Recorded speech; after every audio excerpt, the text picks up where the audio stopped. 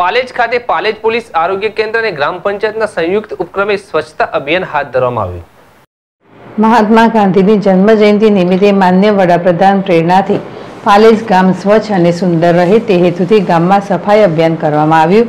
ગામની મુખ્ય આરોગ્યની સુવિધા પૂરી પાડતી સામૂહિક આરોગ્ય કેન્દ્ર ખાતે પાલેજ જિલ્લા સદસ્ય મલંગ ખાન પઠાણ, તલાટી કમમંત્રી કરણસિંહ, પંચાયત સદસ્ય સ્ટાફ, હોસ્પિટલના મેડિકલ ઓફિસર રાજીકાબેન નર્સબેનો સ્ટાફ દ્વારા સંયુક્ત રીતે સફાઈ અભિયાન કરવામાં આવ્યું. Palej police station PI Shilpaben Desai તેમજ સમગ્ર પોલીસ સ્ટાફ દ્વારા પોલીસ ચોકી કમ્પાઉન્ડમાં સફાઈ અભિયાનની શરૂઆત કરી હતી.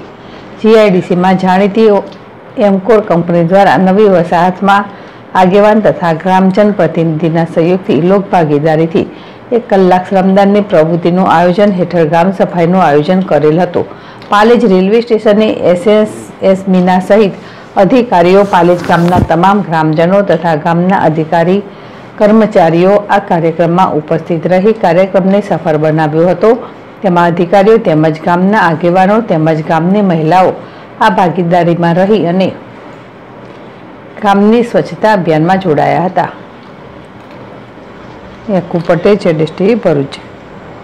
ખાતે આજ રોજ સ્વચ્છતા અભિયાન ભાગરૂપે આપણા લોક લાડીલા વડાપ્રધાન શ્રી નરેન્દ્ર મોદી સાહેબે જે આદેશ કર્યો હતો કે આજના દિવસે આપણે તમામ ગામની સાફ સફાઈ કરીએ, એની અંદર આરોગ્ય, રેલવે સ્ટેશન અને પાલેજની પણ સફાઈ થયેલી છે. અને કાયમ માટે આ સફાઈ રહે, એટલા માટે અમે ફરી વારંવાર પ્રયાસો કરીશું. અને આ જે મોદી સાહેબે આપેલા જે પ્રોગ્રામ છે, એ અમને સક્સેસફુલ કર્યો છે. અને આખા ગામના લોકોને જાગૃત કર્યું છે કે આપણું ગામ સાફ રાખીએ સ્વચ્છ રાખીએ, લોકોને નુકસાન ના થાય.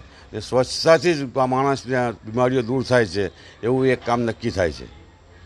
આપણા લોકલાડીલા નરેન્દ્ર મોદી સાહેબ નાના નાના ગામની પણ ચિંતાઓ રાખે છે કે ભાઈ આ ગામમાં કચરું ના રહેવું જોઈએ, આ ગામમાં કશું સફાઈ થવી જોઈએ.